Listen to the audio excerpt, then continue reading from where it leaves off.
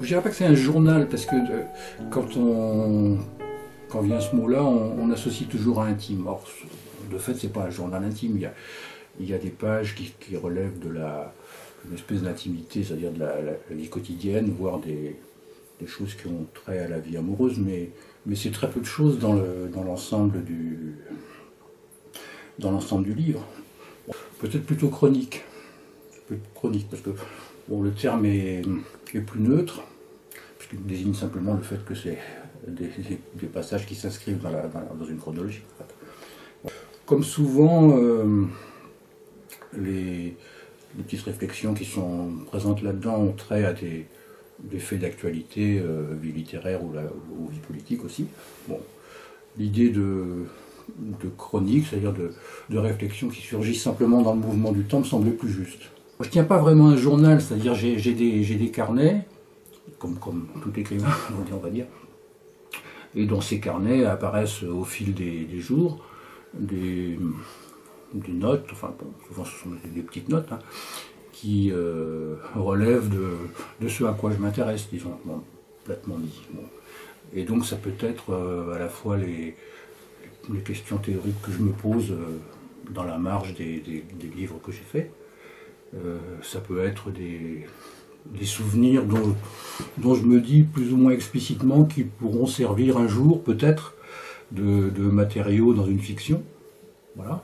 Ça peut être des, bribes de poèmes dont je me dis ou je me dis pas, peu importe, qu'ils pourront donner lieu un jour au prix d'un travail de composition à un, ensemble de, textes poétiques, voilà, bon, une espèce de recueil. Le, le, le, déroulé de tout ça est d'un disparate euh, absolu. Et parfois, euh, pour des raisons qui sont souvent liées à une espèce de désœuvrement, c'est-à-dire il n'y a pas un autre livre en cours. Voilà. Euh, je regarde là-dedans, puis je, je trouve telle ou telle page euh, digne d'intérêt, ceci dit sans, vanité, et puis je, je, développe un petit peu. Voilà. Je fais ça aussi, comme beaucoup d'entre nous, j'imagine, avec les correspondances avec les amis. C'est-à-dire, euh, bon, maintenant c'est essentiellement des mails. Euh, bon, les amis avec lesquels je, corresponds sont des, proches au plan euh, de, l'idée qu'ils ont de la littérature et de l'art en général. Donc souvent, assez souvent, on échange des choses qui, bon, qui, qui pas, sont pas sans intérêt du point de vue de la, réflexion. Moi, j'ai jamais vraiment tenu un journal régulier. En tout cas, j'ai pas un cahier, disons, euh, cher journal, et j'ai pas euh, même pas un dossier euh, avec rassembler des, des, réflexions au quotidien ou des confidences ou des confessions au quotidien, pas du tout. Bon, j'ai passé des, de longs mois, voire de longues années, sans rien écrire qui ressemble à quoi que ce soit d'un journal. Puis il y a d'autres périodes, pour des, des raisons du type de ce que je te disais, le fait qu'il n'y ait pas vraiment un livre euh, en cours avec les, soucis propres à un livre, bon bah, ces notations se font plus régulières et ça ressemble à un journal du coup. Quand j'ai eu euh, terminé et qu'ont été publiés ici euh, assez rapidement l'un après l'autre Les Amours Chinois et Chinois aiment le sport, je me suis retrouvé, comme c'est le cas souvent après, après les livres, dans un moment un peu désœuvré, comme ça, bon. Euh, désœuvré veut dire assez vite dépressif, voilà. Puis la, seule façon de, combattre euh, cette, ce penchant, comme ça, un peu désagréable, c'est le travail. Mais le, travail, euh, euh, dès, l'instant où il n'est pas celui que concentre l'emportement lié à l'invention de vraiment d'une forme, euh, ben, c'est pas quelque chose qui revient aisément. Enfin, c'est pas quelque chose, en tout cas, dont on puisse décider euh, de le faire revenir. Il revient ou pas, s'il veut bien. enfin, pour moi, c'est comme ça. Donc, euh, la seule réponse à cela, c'est l'espèce de graphomanie quotidienne, comme cela, sur tout et sur rien. J'espère que ça peut donner du plaisir. En tout cas, il y, a eu un grand plaisir à les écrire. Le, le plaisir, tout d'un coup, de. Enfin, il y a toutes sortes de plaisirs, mais. Il n'y a pas que du plaisir, mais il y a principalement du plaisir le plaisir de la liberté dont, je te parle. C'est-à-dire, euh, bon, moi j'ai quand même toujours cherché à écrire des livres qui soient euh, un peu stylistiquement, euh, enfin héroïque, quoi. enfin héroïque, tu vois ce que je veux dire, c'est-à-dire, bon, avec la volonté de, de, fabriquer des formes singulières et, et, denses et, et, cohérentes, que ce soit côté prose ou côté poésie, ou même côté, côté théorique, enfin côté essai. Bon là, bah, surtout, surtout bon, la forme qu'a en définitive le livre qui porte ce titre, là, Point d'appui, elle, se souvient, bien que je l'ai retravaillé beaucoup, mais elle se souvient de, ce qu'était à l'origine euh, le, travail d'écriture, c'est-à-dire tout sauf un travail, justement, c'est-à-dire des, notations, des sensations, des, impressions, des, souvenirs d'amitié aussi. Ce qui est très présent, parce que c'est présent dans ma tête euh, et dans celle de, de gens ma génération, entre autres, c'est euh, quel rapport peut-on non seulement repérer, mais agir entre, euh, pour faire vite, entre invention artistique, invention littéraire et, et politique, et volonté de transformation politiques du monde. Très très vieille question. Elle, elle remonte au moins à l'époque de la, Commune de Paris. Voilà. Mais c'est la question qui a traversé les, avant-gardes tout au long du XXe siècle et qui euh, est toujours une question qui se pose aujourd'hui. Quand Nathalie Quintane fait le livre que la PRL vient de, publier, c'est cette question qu'elle affronte. Euh.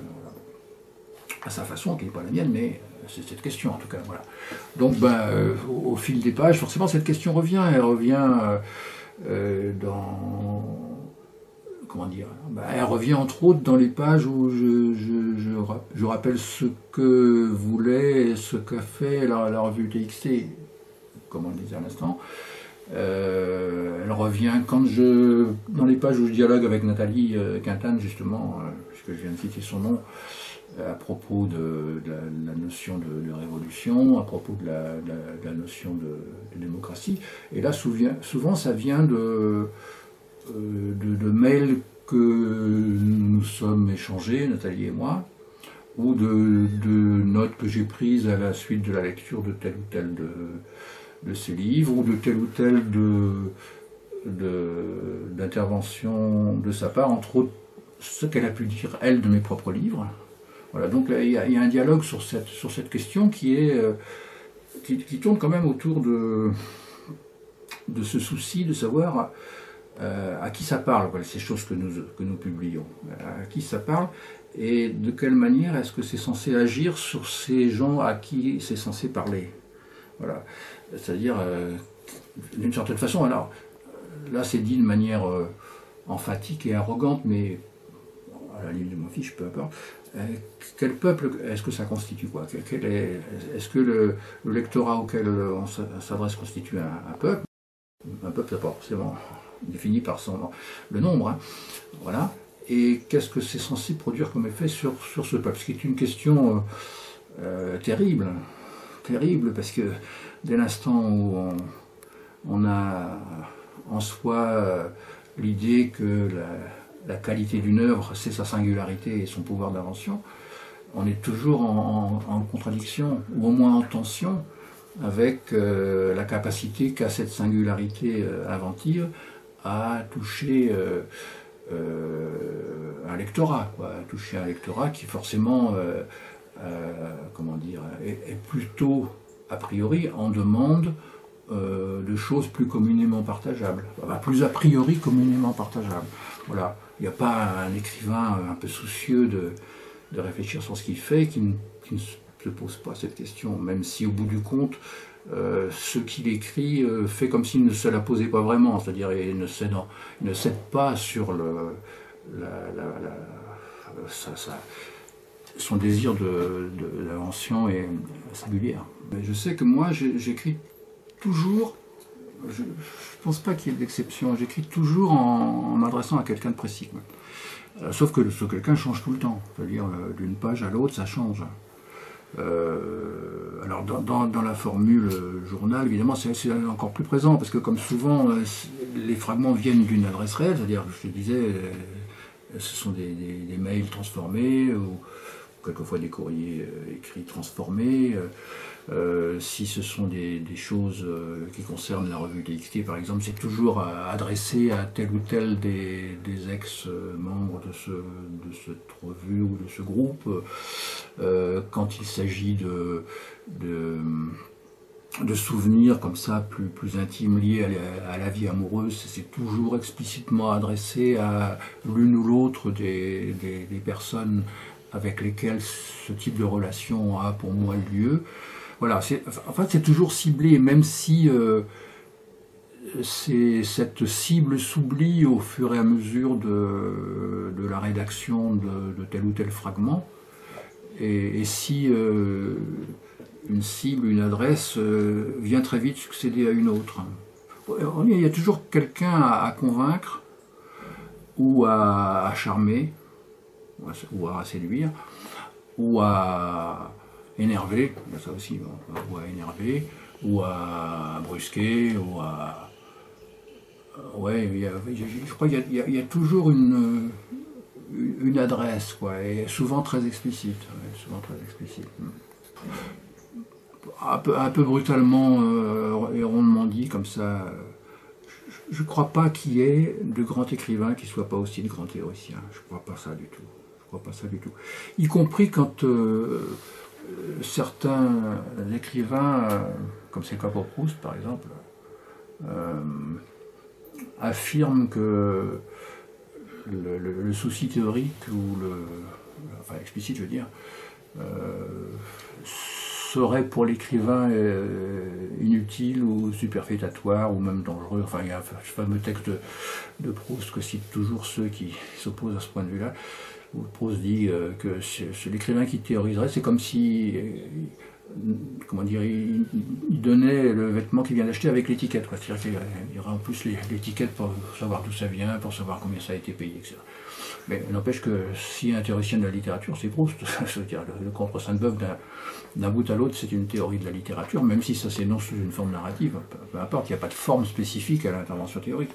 Voilà. Euh, la, plupart des, écrivains euh, qui font qui font date, enfin, qui font date au sens où subjectivement qui vous ont bouleversé, et objectivement qui introduisent euh, quelque chose de neuf dans le, le mouvement de l'histoire littéraire, ils l'ont toujours fait en, pensant, euh, voire en pensant d'une manière théoriquement constituée, le travail qu'ils faisaient. Alors c'est pas, pas, forcément parce qu'ils ont publié des livres à caractère mais simplement parce qu'ils ont écrit des préfaces, des postfaces, des lettres. Et Rimbaud, euh, c'est d'un bout, à l'autre un théoricien de la, poésie. la lettre du voyant, c'est un texte théorique, enfin, ainsi de suite. L'autre Hermont, euh, c'est un théoricien de la littérature poésie 1 et 2, c'est un texte théorique. Bon, je sais pas, Baudelaire, un grand théoricien de la, poésie, euh, et puis après, euh, Breton, Bataille, euh, voilà. alors Novarina, dont on parlait il y a quelques instants, c'est un, théoricien de, son propre travail. Lettres aux acteurs, par exemple, c'est un livre de théorie. Mais c'est un théoricien du même coup du théâtre. Juste une, petite parenthèse, mais là, juste euh, par énervement, il y a une position que je ne supporte pas, c'est le narcissisme artiste. C'est-à-dire les artistes qui euh, se contentent de l'affirmation de leur euh, capacité d'invention stylistique et qui en déduisent que on peut sur ce fond-là, mettre à distance l'effort de, rationalité. J'adorais euh, Denis Roche, par exemple, euh, comme personne, et comme, euh, comme poète, c'est moins qu'on puisse dire, adorer, c'est pas le bon mot, mais, je m'énervais toujours qu'ils disent qu'on n'avait pas besoin de logiciens. Parce que c'était fou en plus, il faisait ses préfaces, il faisait ses manifestes, etc. Et les personnes qui ont accueilli mes archives à l'IMEC et qui continuent à, accueillir de temps en temps quelques, quelques radios, euh, forcément posé la question, parce que je crois qu'elle est simplement légale, de savoir si euh, toutes les archives pouvaient être à disposition, ou bien s'il fallait des autorisations spéciales pour ceci ou pour cela. Bon, euh, moi j'ai. Alors je crois que légalement, tout ce qui est correspondance, de toute façon, c'est fixé par la loi, on peut pas. Mais ben, moi j'ai dit que de toute façon, comment dire D'ailleurs, c'est important de le dire, parce que l'un des, principes, de, l'une des questions qui traverse tout ce, tout ce livre, point d'appui, c'est euh, comment se dit l'intime? Voilà, comment se dit l'intime? Est-ce que, l'intime se dit euh, dans la. Euh, comment dire dans la vérité confessionnelle, est-ce qu'il suffit de vouloir dire l'intime pour que l'intime effectivement se dise? Voilà. Est-ce que l'intime se dit dans cette espèce d'honnêteté euh, dénudée C'est le point de vue de Michel Léris, par exemple, dans sa biographie. Ou bien est-ce que euh, le fait même de dire l'intime dans les formes rationalisées et conventionnelles de la, qui sont les formes du genre de la confession, est-ce que c'est pas déjà une façon de barrer l'intime? Est-ce que c'est pas plutôt les ruses de la fiction qui font que l'intime surgit? Est-ce que Proust n'est pas plus près de, de, Proust quand il parle de Marcel que quand euh, il parle directement de Marcel Proust voilà, des choses comme ça. Du coup, j'ai oublié ta question. Oui, les mecs, voilà. Donc, bon, moi j'ai répondu que on faisait comme on voulait. Parce que je ne crois pas que que l'intime, enfin l'intime de la personne que, que, je suis, soit vraiment dans, dans, les, dans les carnets ou dans les lettres, etc. Je, trouve, je pense qu'il est davantage dans les, dans les livres de, fiction que, que PEL a publié dans, dans Commencement ou dans Une phrase pour ma mère. Paradoxalement, parce que ces livres construisent une fiction et que c'est dans les ruses de la fiction que, que la vérité d'une d'une personne, quoi, d'une personne qui parle, c'est-à-dire de, toute personne humaine, euh, se, forme, se forme voilà. Et puis je, veux dire ça dans le livre aussi. De toute façon, comme tout le monde, j'ai écrit des, dizaines, voire des centaines, peut-être des milliers de lettres à des, à des dames ou à des, à des amis eux, ou Bon, euh, soit c'est foutu, c'est parti à la poubelle, donc tout le monde s'en fout. Soit c'est pas parti à la poubelle, donc c'est quelque part. Et si euh, mon, travail tout entier et ma personne tout entière ne passe pas aux poubelles du temps, ça, ça, réapparaîtra et là, j'y pourrai rien et merci. Oui, point d'appui, c'est euh, au départ venu d'une phrase de Klebnikov, le, poète russe, qui dit, alors je ne sais plus où, mais ça n'a pas d'importance, il dit qu'on a besoin de point d'appui, c'est-à-dire de journaux intimes. Bon, le journal intime comme informations sur les, sur les personnes et sur lesquelles on peut, on peut s'appuyer pour ensuite construire des, construire des fictions. Sauf que moi j'y ai entendu aussi le, sens négatif, savoir point d'appui, ça veut dire qu'on n'en a pas. Quoi. Voilà. Et donc j'ai un peu euh, choisi ce, ce, le titre en fonction de, de, cette phrase de Klemnikoff parce qu'elle vient quelque part dans, dans le, le journal à je ne sais plus quel moment, là aussi, peu importe mais que j'ai assez vite vu la possibilité de jouer sur le, sens positif et le sens euh, négatif. On va décarter ça comme ça.